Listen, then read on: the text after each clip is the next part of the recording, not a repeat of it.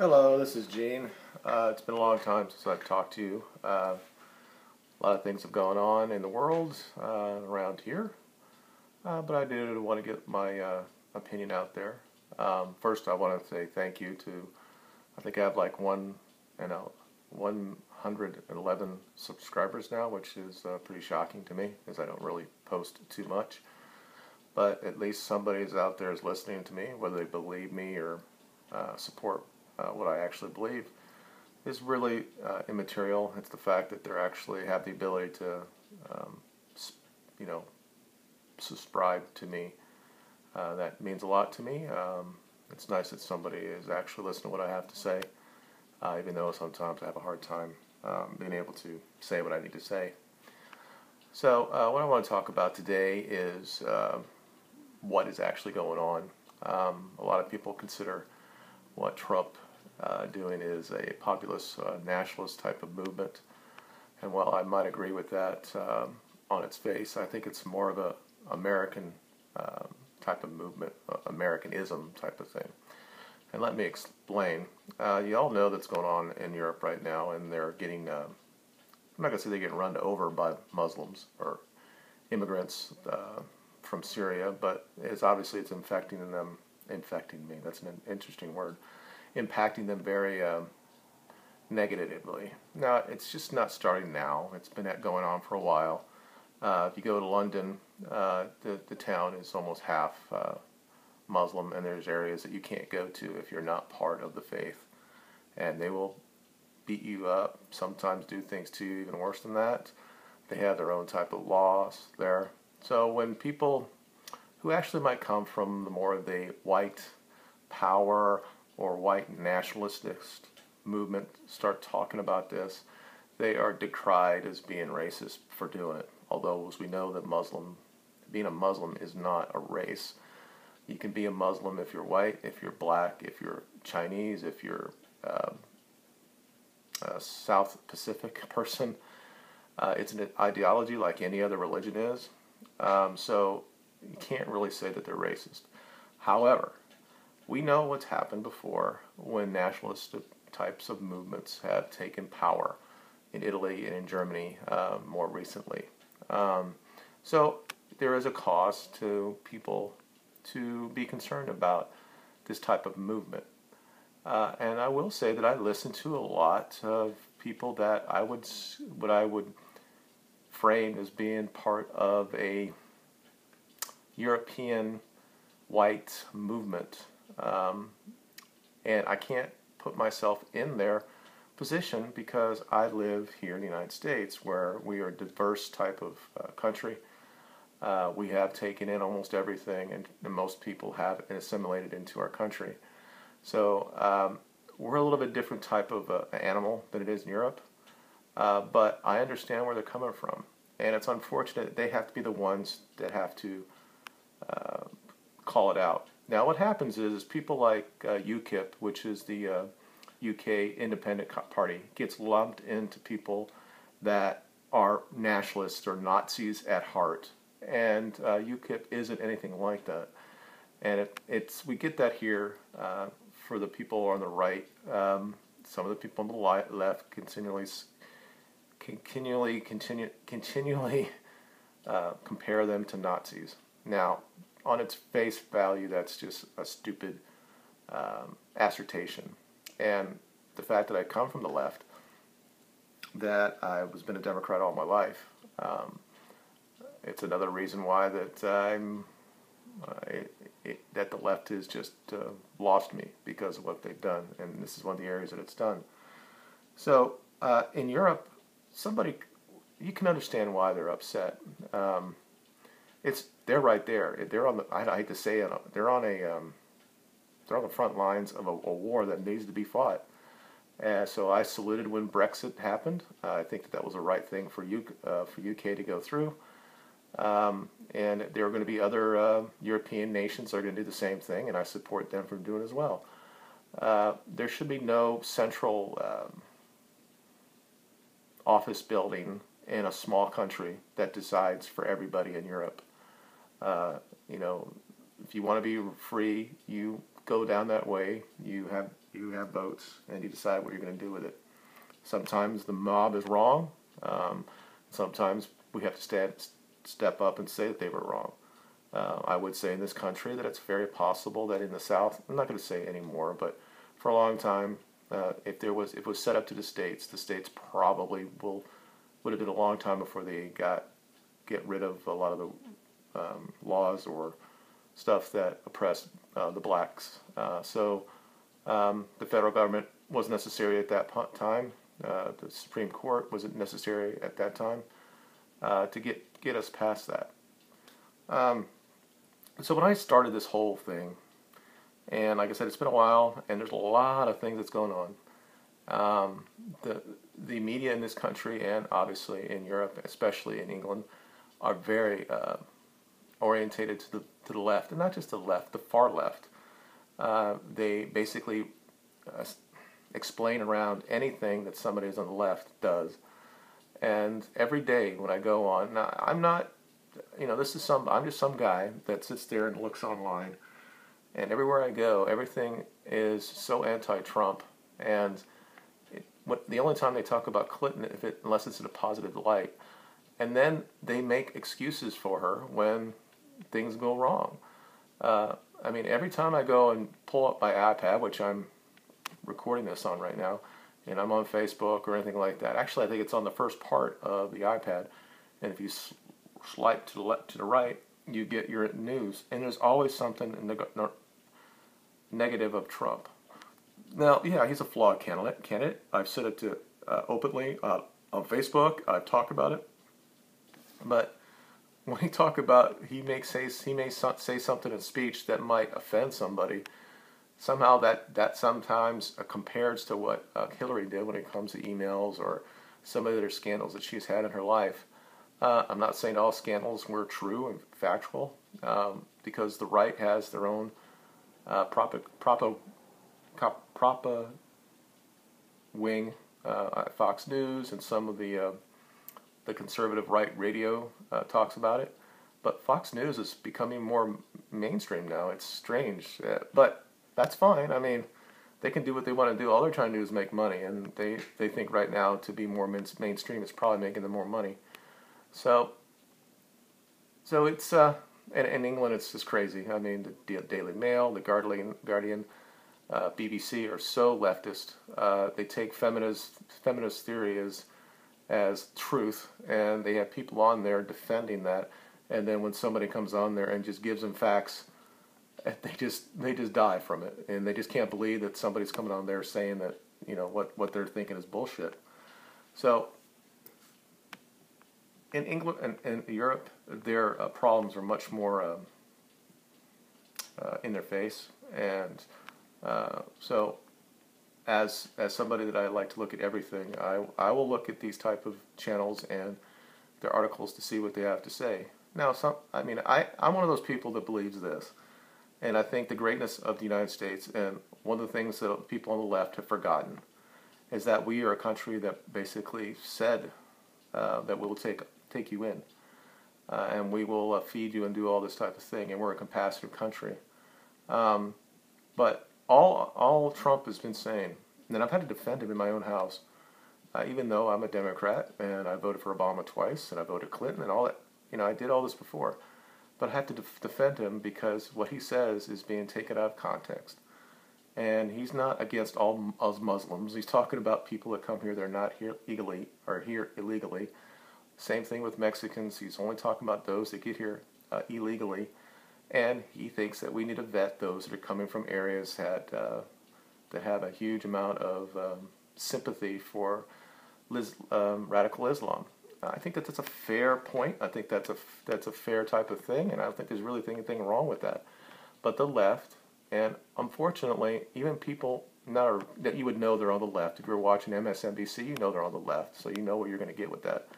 But people we think that are even uh, at the same, you know, let's say not cons- sensible type of people, uh, you know, some senators, some on both sides that sit there and saying that no, he's talking about banning all Muslim, which he never said that.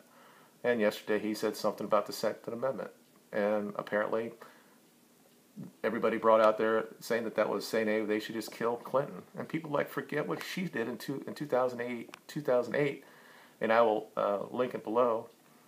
When she many many times talking about uh, that she's not going to drop out, that her husband didn't get the job uh, didn't get the nomination until late June, and she even talked she after that she talks about when Bobby Kennedy got uh, assassinated, and she did this over and over again.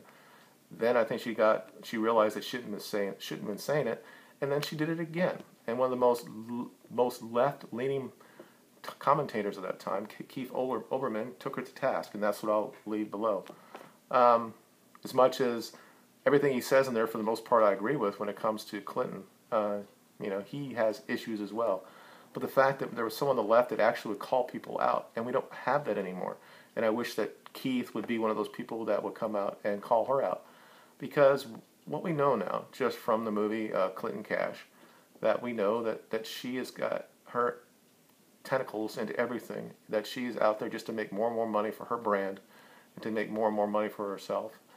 And any other person, any other organization, if they had this type of return when it comes to what they get uh, for their charity, um, they would be on blast on everybody. Uh, if it was a, a, known place, like let's say Red Cross was only getting like 10% of what they got in and put it to charity, they'd be on blast by everybody and they would just be under so much scrutiny. Well, this is what the Clinton Foundation is. They're 10% of what they come in is used for charity. And even then, you could look at that, it's not necessarily that much. So Bill and Clinton and Hillary has made had, re, had figured out a way to make a lot more money. Now, if somebody's that stupid enough to give that much money, that's one thing. But when she basically uses her position as a Secretary of State and where she's getting money from these people, and all of a sudden they get um, free access to uh, mineral rights or oil rights in these countries, you know something's going on here. And nobody on the left will talk about it. And it's unfortunate. Some of the some of the Sanders people will, but before I uh, move on, I, I want to talk about uh, Bernie Sanders. Um, I knew all along that uh, her his support was was fleeting. Let's put it that way. Once you cut him a little bit, that all that support would go somewhere else. And yeah, there was some out there uh, marching and protesting, um, but they should have known all along that uh, Sanders was not a type of um, person that you could account at the end. His revolution is never was never thinking about that at all. He knew he he knew he wasn't going to win, but either way, he had a chance to do something. He didn't do anything. Now I don't believe in his vision of the future. I think that he's so leftist that uh, it, it would damage the country. Um, and he has no spine. Um, and we could talk about, well, he just basically sat down when those black girls got up there and took the mic from him. Um, obviously, he could never, he should not be the president. So, uh, I, am rambling here, but let me just let me come back to the, the American the Americanism thing. When I see things, uh, when somebody from this country who was born here or is naturalized, but they're citizens of this country, and they use the victim complex to say that they are fearful of their life because of how they look or because they're a Muslim. And when somebody has a platform like the girl uh, at the Olympics, who's a fencer, said that she wrote it everywhere that she's fearful to walk in the streets in in the United States because she has a, a hijab on. And I just want to tell her this. Now she'll never get this, but I don't care. You, it is so strange that you, uh, as a female who is the most protected class in in the United States, ha- get less assaults, get killed less. Um, people your age group um, background does not get killed. Uh, compared to me, uh, I probably have a, a 10 times more uh, uh results that I'll have uh, an assault happen to me or I'll get killed. My friend's uh, friend, Devin, who lives down the street, he's a young, young African American who's 17 now, I think. He's probably, compared to me, he's probably 10 times or 100 times worse than something that would happen to me at my age and my uh, dr- racial demographic uh, compared to his and his age and his racial demographic. And you go up there and say that you are fearful when you walk down the streets of the United States? Are you fucking kidding me? This shit needs to stop. And people, when, when somebody is interviewing this person and they say something like that, either you needed to stop the interview and say, Do you really want this to go out there and say this is what you're worried about? Because you think that everybody in the United States are so against people who are Muslims. We don't really give a shit about the religion that you're doing. What we care about is if there's somebody that's coming from those areas that we can't vet, that we want to wait, that we want to make sure before we bring them in. And if you're a, citizen like several of these people that did it, like the guy in Orlando who was a citizen, we have to deal with that as a country and say, well, that's maybe we need to look at how do we give um, our uh, citizens uh, their rights like that, or maybe we say we don't want anybody come from that those areas. Um, but I'm not somebody that's going to say that I would want to have a search everywhere and, and everybody have cameras everywhere. Uh, and I know that the the actual threat of terrorism in this country is low.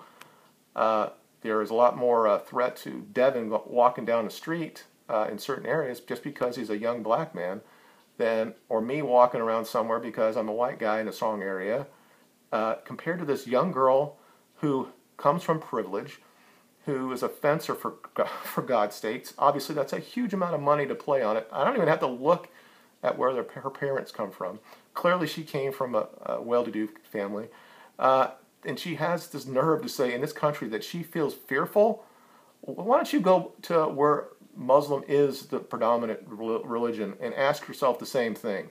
Say, uh, well, I'm going to walk around here and I'm going to in the town square and I just want to have something to eat, and then somebody might come in there and blow up the area because we know that 99% of those are getting killed by Muslims or other or other Muslims or radical Islamists that are blowing themselves up. They do it in neighborhoods that are predominantly Muslim. And you come and say that in this country you are fearful? Are you kidding me? Why? Because you're a, woman of color? Or because you're a Muslim? You got to be fucking kidding me. This country is so progressively, so aggressively changed so much over the years. And when people say shit like this and has no reason to say it, and people like Black Lives Matter sit there and sit there and say that only that, that there's a white supremacist movement that's out to kill black men, that's just bullshit because you're killing each other every fucking day. Why don't we have this conversation instead of just, just sitting there having this little this uh, tit to tat saying, "Oh, it's your fault or your fault." It's it's all our fault. Let's have this conversation. Let's talk about single mothers in, in black communities. Let's talk about it in the white communities. But what I want to talk about this is that Americanism, and it's hard for me to say because of my, my issues, is it once you become in this country and you become a citizen of this country, we do not care what color you are, but we do expect that you are an American. Um, and sh- you should support the fact you're American. And if they, if we think there's a, there's a threat, because there are black people that talk about the threat from Muslims. There are people who are Hispanic or Latino that says they're going to vote for Trump because they don't want the illegals to come over the border and take their jobs or have a, a threat in their community. Uh, this is not this is not racism. This is not uh, uh, I don't know whatever it is. It's not. These are people who are citizens that got here legally, and even those that some that haven't that that made a great life for themselves, but they know what they probably shouldn't have did what they did. I, this is not something that should be really a debate because the left, the Democrats, have talking about have been talking about reforming immigration forever. But I know after I've really searching this, they want them to come through and them all to get become citizens, so they'll become part of their voting block, and that's unfortunate. And they've done it in the black community as well. And I'm not saying it was a purposeful thing, but it certainly worked out for them. They're going to get 80 to 90% of the black community. They're going to get 70 or 80% of the Latino or the Hispanic community in the national election. And unfortunately for them, even though I'm a Democrat and I've been voting that way forever, uh, this is why they do this and why they change the laws to do this. And it's unfortunate. Uh, but this idea that we can't stand up and say, we want America to be great again. Now, I'm one of those people that believe that Sibley's always been great, but we can do better. And uh, there's nothing wrong to be proud to be an American. And yesterday, I'm not saying this is this actually happened or this is her intention, but one of the girls on the gym gymnastics team, they just won the gold. All the girls are sitting up there when the national anthem is going on, with their heart over their hand over their heart, and she's sitting there with her hands down, and her her feet kind of away from each other, and she got called out, and of course everybody was defending her, because uh, that's what we do. We always defend women in this country whenever what they do, we just forget about it. And then she said, "Well, I'm, you know, apparently her parents are um, that lived in the mil- or were military guys." and she said she always stands at attention when the when the national anthem is is done. Uh, oh, that's true. Uh, you know, I'm a military guy. You do that, but she wasn't doing that. She had one foot of another, and she just sat there like she was not uh, slouched over. So I don't know. Maybe in the back of her mind, she's one that supports Black Lives Matter. I don't know, and I don't really give a shit about it. But and we can have these conversations. But let's be true here. Let's let's look at the facts let's look at the uh, the stats, uh, crime stats, and let's see what's happened since uh, Big Daddy Comfort came into uh, the black community and became the father in the black community, and what's happened to that black community, and how it's happened to the white community as well. It's actually it's happened in the white community too. Uh, we don't talk about it much, but certainly around uh, in the mid Midwest, around the Appalachians, it's done the same thing, and these guys are doing the same shit that guys at different colors do it as well. So there's nothing racist or uh, nationalistic or or uh, Nazi in saying I'm American and I support being American and I, I support having jobs here for Americans. Um, we don't have to support the entire world. Now, before I leave, I just want to say this. We still are the greatest country in the world, and I'm going to tell you why. We still give more money than anybody combined to support people when tragedy happens. Yes, we can sit there and we can look at our history and say some of those tragedies were bossed or brought on because of us. Obviously, uh, the rise of ISIS is probably related to uh, uh, Clinton and Bush. Okay, it, it, probably is. But I'm talking about when shit happens, we're there all the time. We don't care. We believe uh, what side you're on. Uh, we come and we support you, and we do that. And when something like a Haiti happens or something like that, the heart of the American people are just un- unbounded. We will do whatever we can to help people. As Kennedy talked about in the, in the 60s, he, he talked about that we will listen, that we'll be, for, we'll be there to help you. Uh, we will never turn our way from you. And that's what made me a Democrat and a classical liberal, meaning that I don't believe that the government should be in charge of everything that I believe in the individual, and as to get at together, all individuals doing well will every will help the entire collective. Now, I'm not a. That's what leftists believe. You know, the collective together. I believe in the, the individual, and we've lost that on the left. We've I can't even find myself on the left anymore.